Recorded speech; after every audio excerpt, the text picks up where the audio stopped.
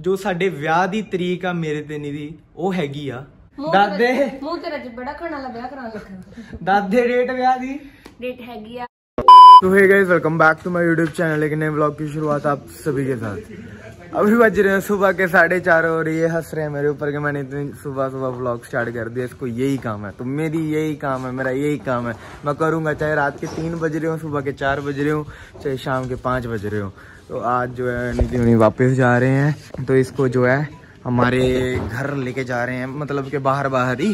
तो उधर से ही ये निकल जाएँगे कहाँ अपने घर की और ओर। केड़ा टच इतनी भैन नहीं यार तो तेरे तेरे को जेड़ा टच है ना मेरे वाला उच कपड़े पा लिए अपने पास। बस उसमें बहुत कपड़े हैं तेरे पाँच सूट चलना मैं।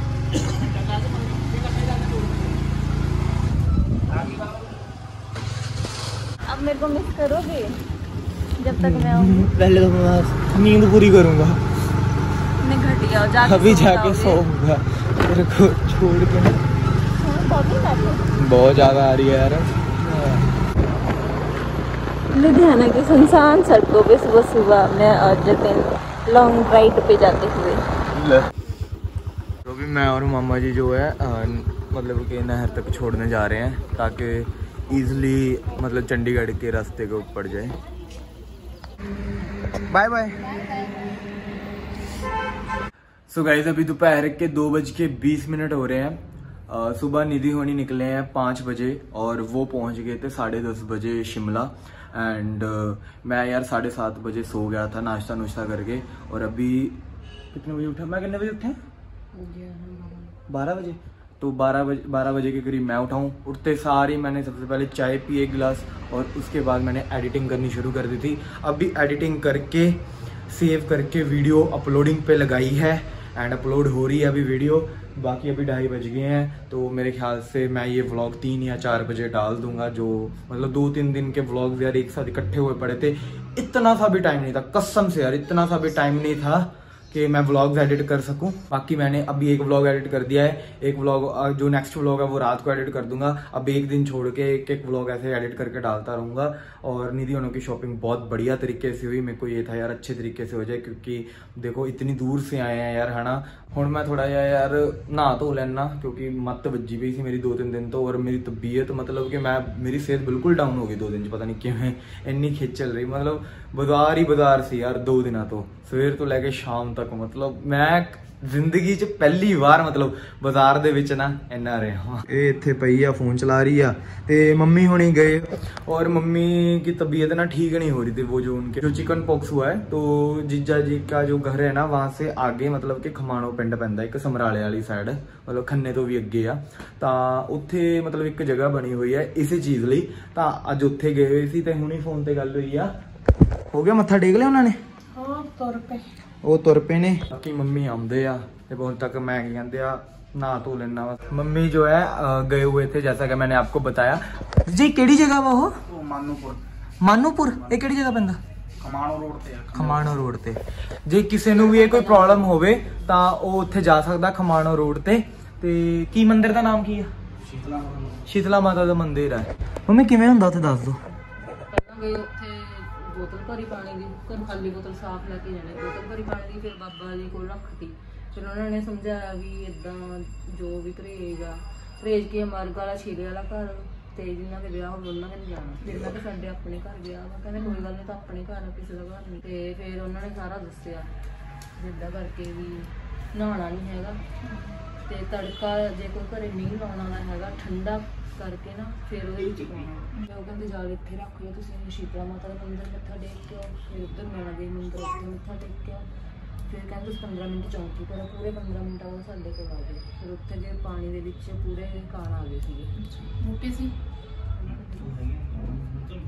ਤਾਂ ਹੋ ਗਿਆ ਨਾ ਮੈਂ ਉਹ ਮੰਮੀ ਦਾ ਕਹਿੰਦੇ ਉੱਥੇ ਬਹੁਤ ਭੀੜ ਹੁੰਦੀ ਹੈ ਵੀਰੇ। ਮਤਲਬ ਆਹੀ ਚੀਜ਼ ਲਈ।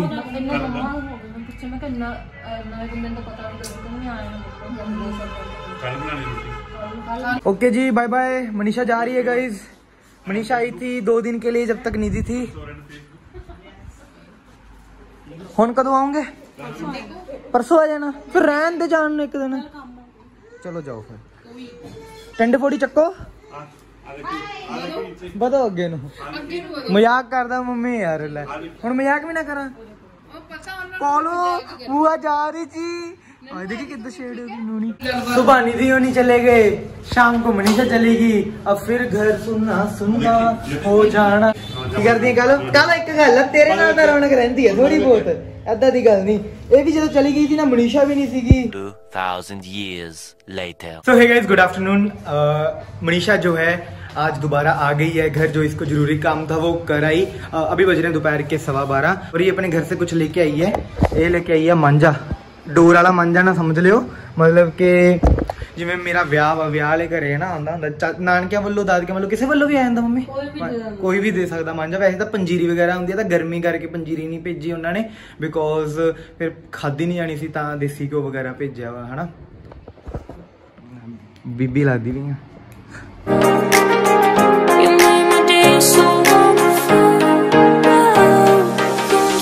ऐसे पंजीरी वगैरह बेचते हैं, लेकिन गर्मी में यार पंजीरी खाऊँगा तो इतने पहले पिंपल होते हैं इतने इतने। और ज़्यादा पिंपल होने लग जाएँगे।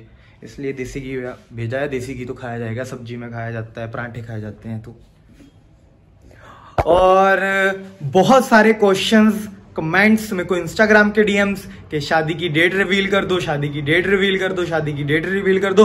तो फाइनली गाइज़ आज के व्लॉग में आपको डेट पता लग जाएगी ਅਹ ਬਹਿ ਕੇ ਆਰਾਮ ਨਾਲ ਗੱਲ ਕਰ ਲੈਂਦੇ ਆ ਭੈਣ ਭਰਾ ਸੀ ਅੱਜ ਤੁਹਾਨੂੰ ਡੇਟ ਦੱਸਦੇ ਆ ਵਿਆਹ ਦੀ ਸੋ ਜ਼ਿਆਦਾ ਇੰਤਜ਼ਾਰ ਨਾ ਕਰਾਉਂਦੇ ਹੋਏ ਜੋ ਸਾਡੇ ਵਿਆਹ ਦੀ ਤਰੀਕ ਆ ਮੇਰੇ ਤੇ ਨਹੀਂ ਦੀ ਉਹ ਹੈਗੀ ਆ